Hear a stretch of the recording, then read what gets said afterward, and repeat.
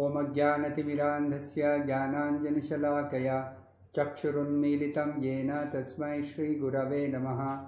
नमा ॐ विष्णुपादाय कृष्णप्रेष्ठाय भूतले।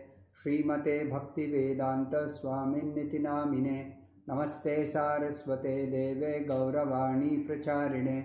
निर्विशेषशून्यवादी पाश्चात्यदेशतारिणे। जय श्री श्रीकृष्णचैतन्य प्रभु नित्यानन्द। श्री अद्वैत गदाधर श्रीवासादि गौरभक्तवृन्द हरे कृष्णा हरे कृष्णा कृष्ण कृष्णा हरे हरे हरे राम हरे Ram Ram Ram Hare Hare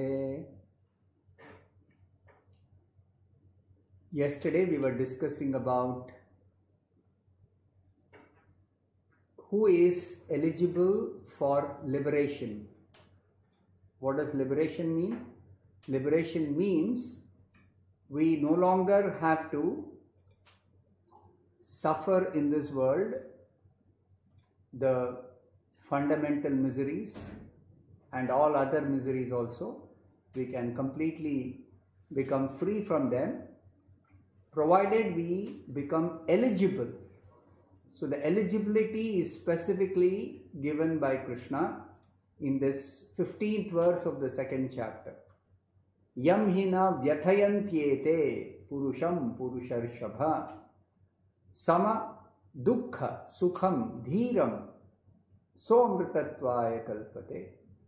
So, this Bhagavad Gita is telling us about immortality, immortal life, immortal way of living that is uh, new to many, many people who think that life means life here in this world. The way we take birth and we go through so many different uh, uh, experiences of sukha, dukkha, and then ultimately everything is finished when death comes. No, this is not the correct understanding.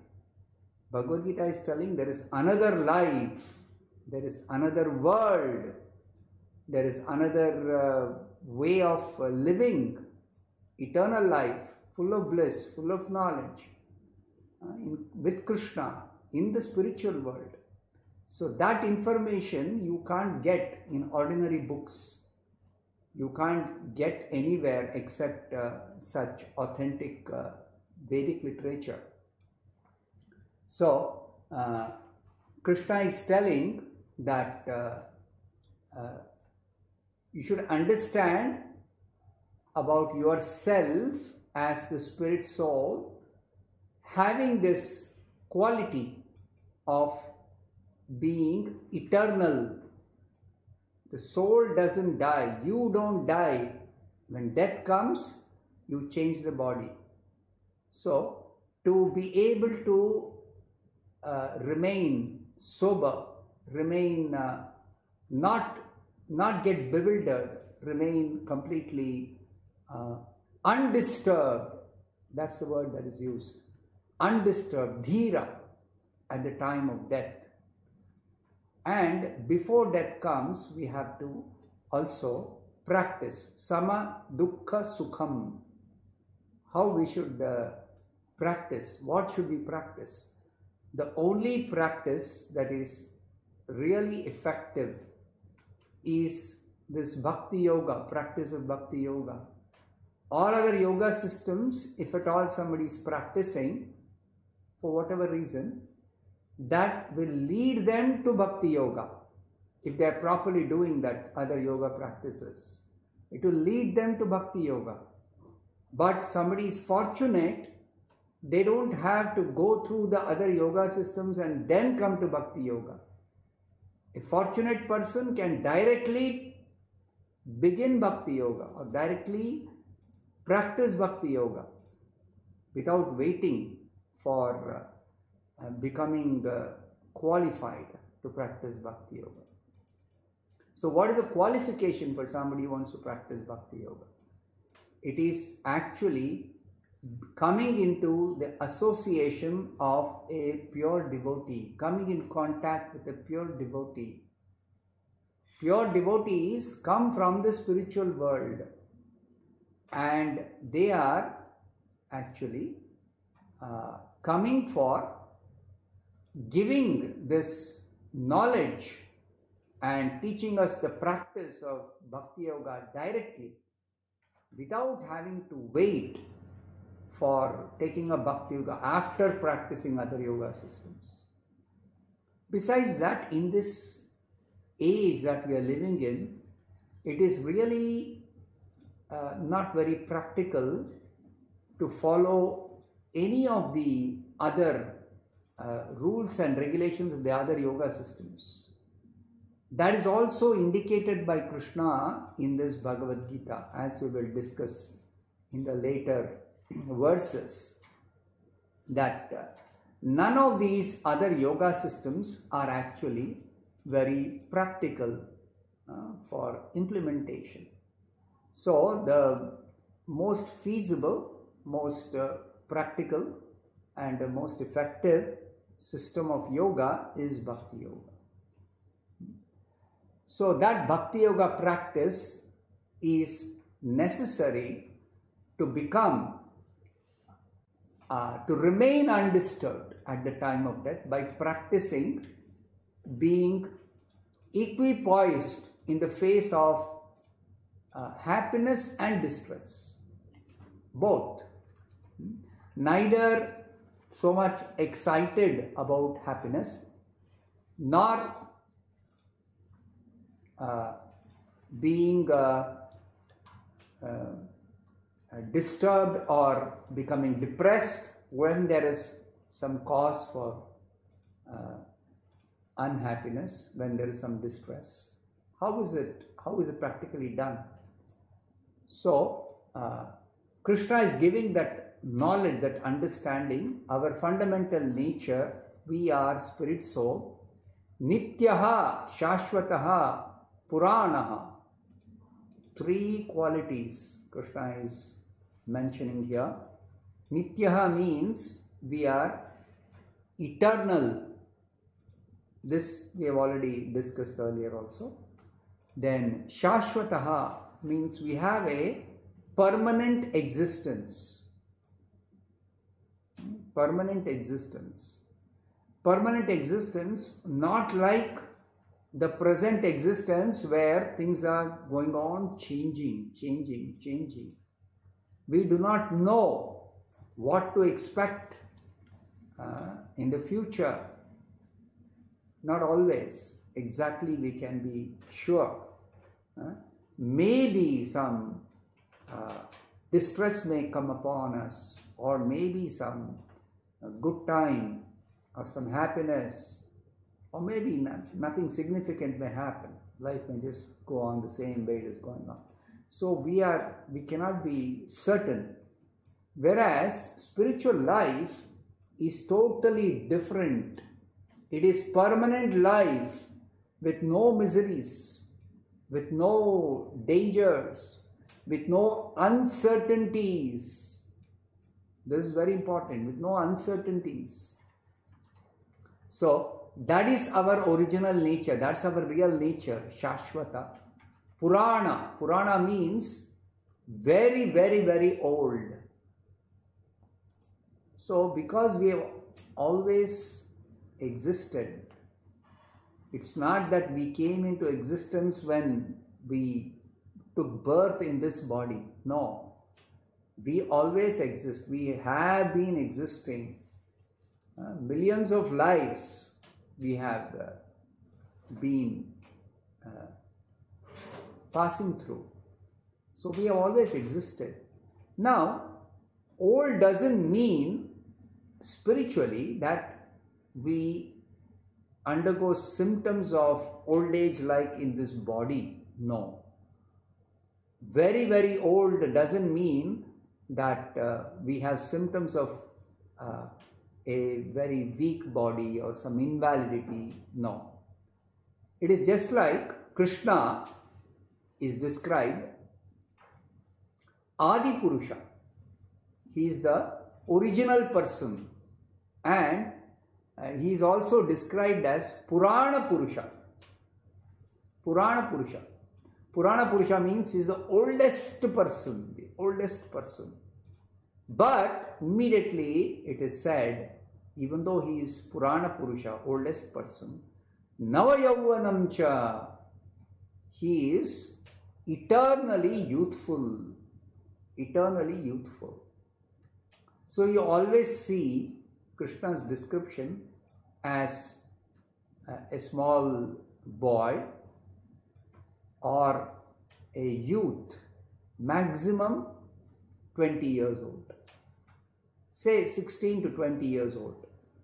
Uh, he never grows, apparently, he never grows beyond that.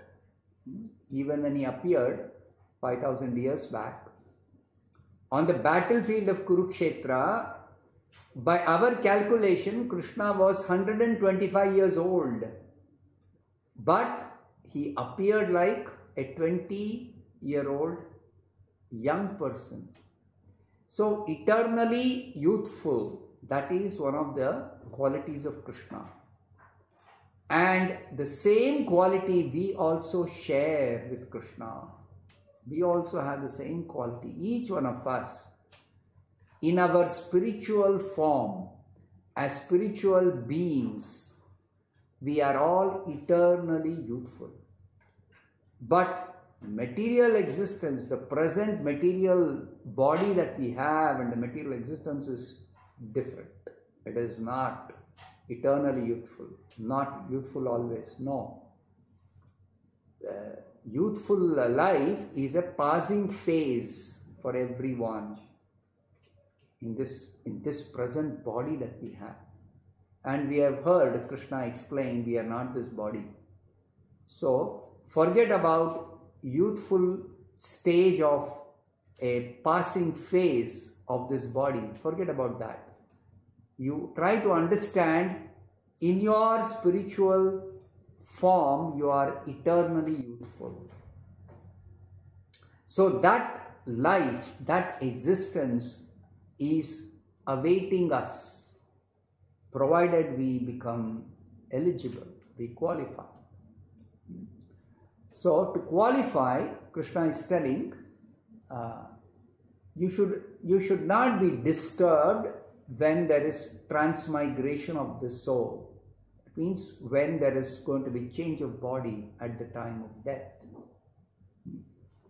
So particularly he is addressing Arjuna that Arjuna was thinking, how can I kill my grandfather? How can I kill my teacher? So Krishna is pointing out your grandfather, your teacher, they will not die. It looks like they're going to die in the battle, but at death they will simply transfer to another body. It is like vasamsi jirnani yatha vihaya. Vasamsi means the, the dress we have experienced. We got some dress. And uh, that dress when it becomes old and worn out then we discard that and we accept a new one. Similarly this body at the time of death whether young or old at the time of death we have to give up this body. Death of the body as i mentioned earlier body dies the soul doesn't die you don't die your body dies at the time of death so you have to quit the body. Dead body is useless for you. You cannot live in a dead body. So you have to quit the body. So quitting the body is not that there will be no uh, body at all. No. There is going to be another new body. There is going to be a new body. So that new body they are going to get. Drona, Bhishma, uh, all of them they will get a new body. So therefore don't lament for their uh, uh, so-called death. In discharging your duty as a kshatriya in this dharma yuddha that's very important. It's not that violence is justified. Anyway when a person dies i'm not killing the person so like how does it matter you know whether he is going to die or going to live. No, that is not the correct understanding. The understanding is in a dharma yuddha, a kshatriya's duty is to fight. In a dharma yuddha. So Arjuna is being instructed by Krishna to fight in this particular battle as because it is a Dharma Yuddha and it is going to result in Bhishma and Drona and everyone in this battle, whoever dies fighting, they will all get a new body which will be better than their present body. So therefore there is no reason for lamentation for Arjuna. And Krishna is also telling the state of existence in the new body should be not the state of existence like in this body. In this body, our state of existence, material existence, it is called Jiva Bhuta. We are called Jiva, living being, but our existence at present in this body, in this world, in this life is called Jiva Bhuta. Jiva Bhuta means constantly engaged in a struggle for uh, existence. Uh, we are engaged in a struggle for existence with our six senses, including the mind.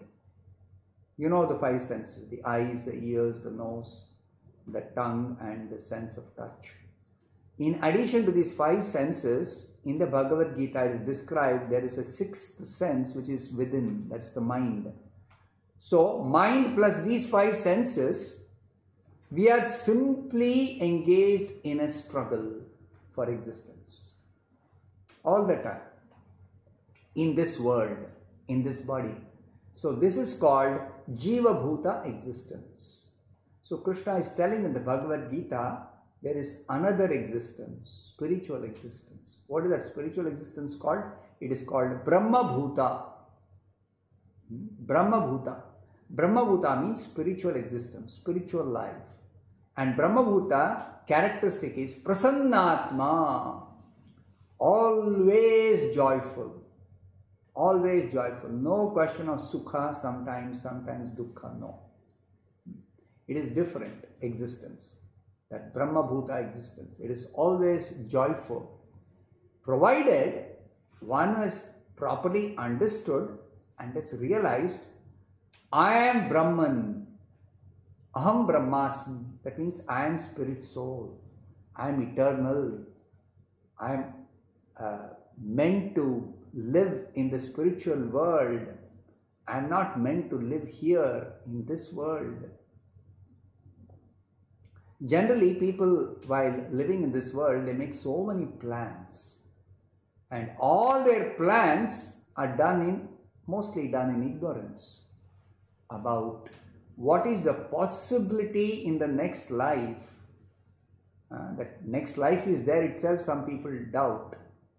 But if they understand there is a next life, uh, they don't uh, take authoritative uh, information from the Bhagavad Gita, from the proper source, if they don't get information, then they're not sure.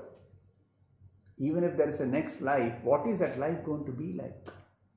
So, here we understand the next life will be similar to the present life in terms of engaged in constant struggle for existence if we don't realize or understand our actual nature is spiritual we are spirit soul. If we don't realize that, if we don't know that, if we don't understand that, then it is going to be another material body. We're going to get a new body after death. Yes, we'll continue uh, living. We always continue living. But if it is going to be another material body, it is simply going to be again another struggle for existence. And you can very easily understand we cannot take anything material with us. Uh, mrityu sarva haraschaham. Mrityu, death means everything is uh, lost. As far as I am concerned, if I die, means I quit this body, I can't take anything with me. Uh, people know this. At least in our culture, most people know this. But they don't consider very seriously if I am not going to take with me anything, why am I working so hard for accumulating so many material possessions? Virtually, in our modern age, people are so much mad after getting more and more possessions. Uh, added to the uh, number of shops that are there, which are selling so many different goods, they have also got now online shopping. You don't even have to probably stir out of your house. You simply uh, order on a website or on a phone or whatever, on your mobile. Whatever you want, you pick and choose and uh, you just uh, click of a button and uh, you give your credit card details and you get uh, uh, it delivered to your home wherever you are. So this is uh, madness, is simply going on accumulating more and more material possessions. Now please remember that uh, for each of these possessions, so much of effort, energy, and so much of uh, hard labor is involved. Or the hard earned money is uh, not very intelligently invested we are not against working hard for uh, getting some wealth, no. But how are you going to utilize that wealth in your life? If you think everything is finished at death, let me enjoy before death comes, then that's a very foolish uh, proposition. That's not a very intelligent proposition. And if you think that, oh, I can uh, leave behind things uh, for my family members so that they can live happily, then that is also not very intelligent thing because you should consider what are you going to take with you. The fact is you're going to continue life in a different body. So what are you going to take with you? So as i mentioned once earlier uh, you can take with you something which is like a spiritual asset. That spiritual asset comes with you. It is eternally yours and it comes with you. So this uh, realization, this understanding, this knowledge, I am Brahman, this is something like a spiritual asset. This is a spiritual asset. So if you get, you acquire this asset, you carry this with you, and it's going to lead you to spiritual existence. It is going to make you eligible for spiritual existence. And that spiritual existence is completely joyful. It's not that you have to become happy by making some arrangement, by acquiring some uh, uh, comforts in life, by, by adjusting things uh, which are favorable for your senses. No. Constitutionally, even uh, simply being in spiritual existence, just being in spiritual existence, you are completely joyful. So this is unknown to us. This state of existence in our present condition is unknown to us. So that Krishna is informing. Uh, so you should um, uh, understand this ex- this body, which is actually the cause of happiness and distress, or the source of happiness and distress, is simply external to me. It is simply a covering. I have nothing to do with this body as far as my eternal life is concerned. For now, I have to maintain this body. For what? For actually practicing Krishna consciousness, for practicing Bhakti Yoga, I have to maintain this body. Not maintain this body for acquiring more material possessions. no maintain this body for the sake of practicing bhakti yoga to become eligible before death comes to actually enter eternal spiritual life. So, uh, realizing this uh, fact that this uh, happiness and distress pertaining to the body, all material happiness and distress is pertaining to the body only. Even if you consider in terms of the mind, some types of pleasures are pertaining to the mind, not necessarily to the body. But even the pleasure pertaining to the mind is also external to the soul, to you, to the real you, to the real I, to the real person. It is external. Mind is also external. Because this mind changes. As I've mentioned earlier, we acquire a certain type of mentality as a result of different activities that we do. That mentality decides what type of body we're going to get next. So, if we develop spiritual mentality, then we're going to get a spiritual, uh, we attain our spiritual form, spiritual nature, no more material body. So, that is a joyful existence, full of joy, filled with joy.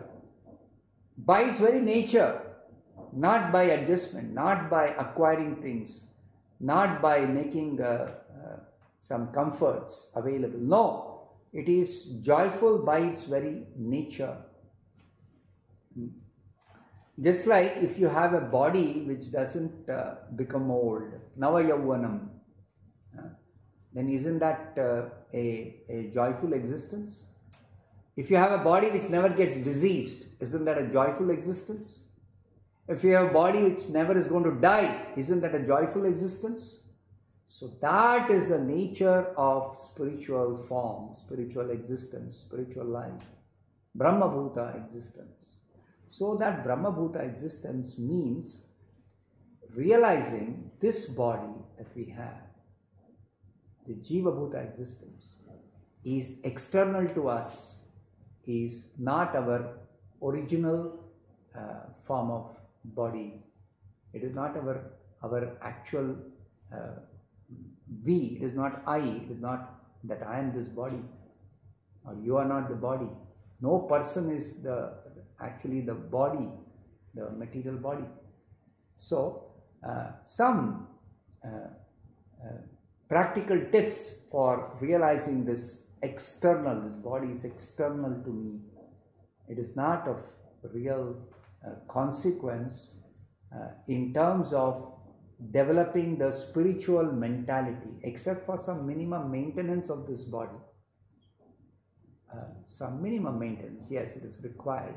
Some food, some clothing, some shelter, but minimum. Minimum because we have to save time, have to save our energy for actually preparing our uh, our our uh, heart, our consciousness for the future. Uh, before death comes, before death comes, to practice bhakti yoga.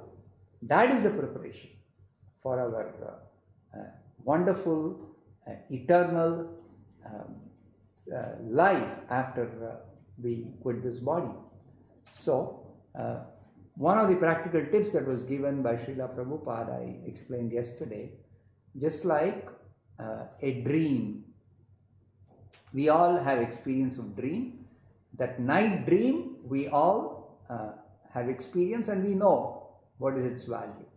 It is just uh, simply something we uh, see or we experience for some short time and it's all finished over. Nothing to worry or nothing to be excited about. If it is a pleasant dream, nothing to be excited about and if it is a, a bad dream, it is a fearful dream, then nothing to worry about. So, like that, even the day time, our life in this body, daytime also is another dream. That is very, very important to understand. And you should uh, uh, contemplate on this and actually think about this and uh, try to uh, realize this so that uh, you can actually develop the seriousness to invest your va- valuable time, that is, uh, the balance time left after taking care of the basic minimum necessities of your maintaining this body and your your important uh, uh, fundamental duties towards your family or towards your society, whatever important duties are there. You do those duties, but You save time for practicing Bhakti Yoga. Don't neglect Bhakti Yoga practice. This is an opportunity in the human form of life is the only opportunity to practice Bhakti Yoga. Other forms of life, they cannot practice Bhakti Yoga. For them, change of body at death is inevitable where they're going to get another material body. So now I'll take some questions. Here I have some questions. Uh, Krishna appears on earth once every day of Brahma. So the question is Is it the same Brahma again and again who will be present when Krishna appears once every day of Brahma? Yes. Brahma's lifespan is the longest in this entire material creation. Brahma lives from the beginning of the creation of this universe till the universe is completely destroyed at the end of Brahma's life. Brahma's life and the universal destruction are happening at the same time. End of Brahma's life. Brahma lives a fantastically long lifespan according to our calculation. According to our calculation. That calculation is given in the Bhagavad Gita. Brahma's one day is equal to 1000 cycles of the four yugas that we undergo. A cycle of these four yugas is something like 43 lakh years according to our calculation. 43 lakh years. So Brahma's one day is our 43 lakh years. We can't even uh, imagine what is this 43 lakh years. So anyway, Brahma lives such days 30 days in a month, 12 months in a year, 100 years Brahma lives according to his calculation. So every day it's the same Brahma. Yes, the same Brahma. Now, another part of this question is Is Brahma going to again and again steal the cowherd boys when Krishna comes? Now, this, as far as the pastimes of Krishna are concerned, uh, Krishna's pastimes are variegated. So, Krishna's pastimes are not exactly merely repeated, no. Uh, Krishna's pastimes are very, very dynamic. So, for Brahma, every day Krishna appears is a new experience. It's a totally new experience. In the spiritual world, everything is dynamic. So, when Krishna comes to this world and performs his Leela, it is very, very dynamic. It is fresh. It is always fresh. Uh, so, it is not that simply another time Brahma is going to steal or some uh, Krishna is going to do some activities like what he had done earlier. No, it is uh, completely uh, fresh and new and ever fresh. It is always fresh and ever new. That's difficult for us to understand in our present uh, uh, condition, but it's a fact that Krishna's activities, Krishna's form, Krishna's uh, um, qualities, ever new, ever fresh. Next question. The population of the world is increasing every day. So, where were these souls earlier? So, this we have to understand. What we count as the population of the humans on this earth, we may compare what was the population human population, say 10 years back or 50 years back, 100 years back with today's population. And we may say it has increased. But we should remember inside this body, human body, there is the spirit soul. Similarly, inside the body of every worm, every insect, every animal, every plant, every aquatic, there is the spirit soul. The spirit soul is equal. Spirit souls, there is no uh, different levels or different kinds of uh, um, um, qualities. No, spirit soul are all eternal. Every spirit soul within every body is eternal. Every living body is eternal. So, the spirit souls are always there. either in human form of body or uh, the aquatics or whatever. Now the difference is from the human form of body, when death comes and a human being, a soul in a human body has to change the body, it's a junction point that they may get another human form of body in the next life, or they may get a body which is a superior form in this world, which is like a body of a devata, or they may get a lower life form like that of an aquatic or a worm or an insect or a dog or a, or a bird or a germ, any, any other type of body. So human form of life is a junction point. It all depends on the activities we do in this human form of life. If our activities are in uh, accordance with the scriptural directions, injunctions, we perform pious activities, we elevate our, our, uh, uh, ourselves to the better form of life. And of course, if somebody practices bhakti yoga, then the next life is neither any form of body in this world, neither better nor same nor lower. We get spiritual form in the spiritual world. We don't take birth again in this world at all after quitting this body if we practice bhakti yoga. So, uh, there's no question of counting the uh, human population and wondering where the souls are coming.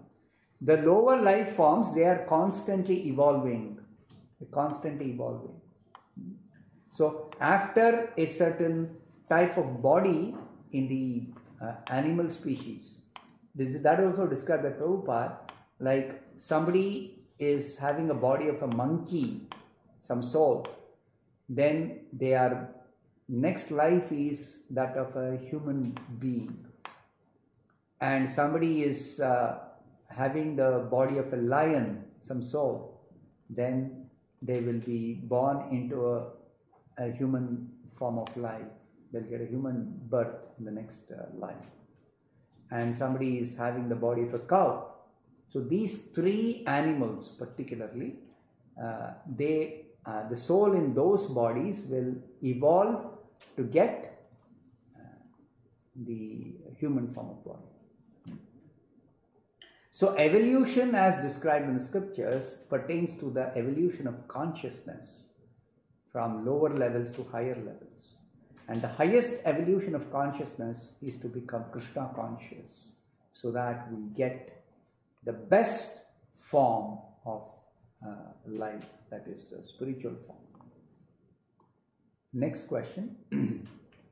Towards the end of Bhagavad Gita, Lord Krishna tells Arjuna, Yatha ichasi tatha kuru. Yes, Krishna tells Arjuna after instructing the whole Bhagavad Gita, I have instructed you, I have uh, answered all your questions. Now it is up to you. You have the freedom to do as you like to do, whatever you want to do. But Arjuna's reply is, Karishye vachanam tava. I will follow your instructions. So, what does this indicate? This indicates that um, spiritual life is never forced. To follow Krishna's instruction is not a matter of force, it is a voluntary choice by each person. Each person.